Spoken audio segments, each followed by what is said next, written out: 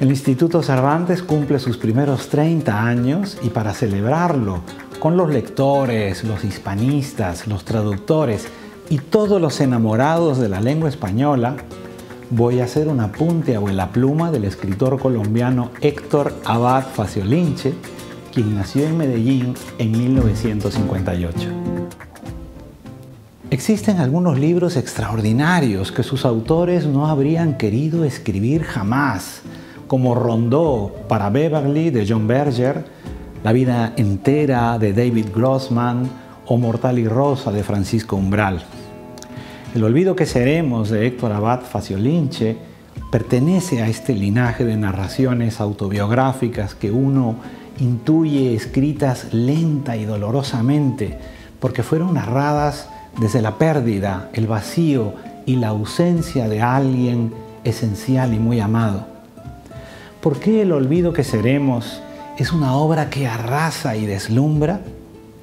Pues porque nos habla de la muerte de un hombre justo y del desorden de su ausencia a través de la mirada estremecida de su hijo. Y esa mirada forma parte de la literatura universal desde que Eneas abandonó los escombros de Troya llevando a cuestas el peso del padre.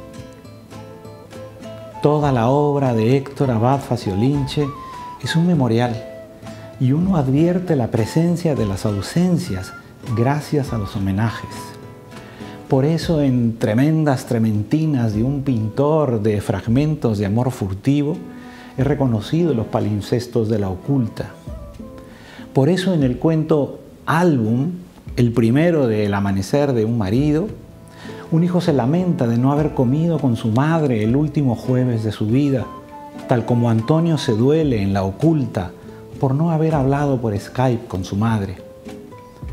Por eso el protagonista de Basura es un novelista que escribe a partir de los desperdicios, los restos, los escombros. Por eso, después del olvido que seremos, Héctor Abad escribió Traiciones de la Memoria una de las pesquisas más deslumbrantes que podríamos leer a partir de un verso hallado en el bolsillo del padre asesinado, como aquel verso que apareció en un bolsillo de Antonio Machado y que hablaba del sol de la infancia. Si algo restalla como un relámpago negro en la obra de Héctor Abad Faciolinche, es aquel suceso fatal que terminó de convertirlo en el escritor que salió de la caverna platónica para contarnos lo que vio, una verdad dolorosa y terrible. Por eso, cuando abro cualquier libro de Héctor Abad, desde Tratado de Culinaria para Mujeres Tristes hasta lo que fue presente, percibo el aroma de unas flores que no son las de Macondo, sino las de aquel rosal endrépano, donde Eneas honró la memoria de su padre.